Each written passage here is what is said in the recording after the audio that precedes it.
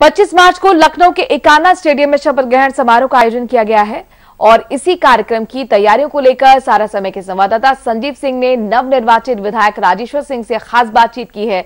बातचीत के दौरान राजेश्वर सिंह ने बताया कि शपथ ग्रहण से पहले पार्टी कार्यालय में एक बैठक का भी आयोजन किया गया है, जिनमें कई मुद्दों पर चर्चा होनी है। भारतीय जनता पार्टी कार्यालय में आज अवध क्षेत्र की एक बैठक हुई है। 25 मार्च को शपथ ग्रहण समारोह होने वाला है। इस शपथ ग्रहण समारोह में क्या, किन मुद्दे पर चर्चा की गई, हमारे साथ बात करने के लिए सरोजनी नगर से नवनिर्वाचित विधायक राजेश्वर सिंह जी हैं।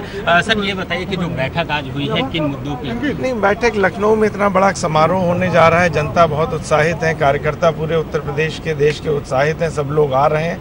उनको कोई कष्ट ना हो आराम से आए कार्यक्रम में भाग लें और आसानी से खुशी खुशी वापस जाएँ। इसी के इंतजामों को लेके बैठे आज क्या कोई टारगेट भी दिया गया है लोगों को लाने का? क्या नहीं टारगेट नहीं पचास हज़ार से ज़्यादा लोग आ रहे हैं हम लोग का अनुमान है।